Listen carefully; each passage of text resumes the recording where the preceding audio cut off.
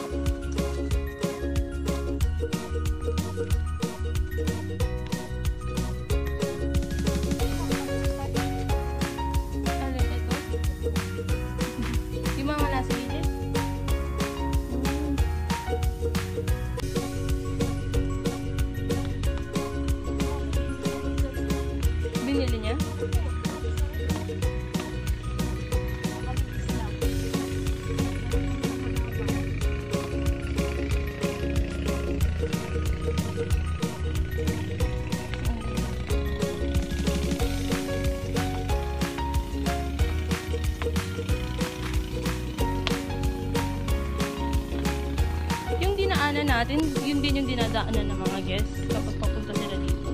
Yung ganun,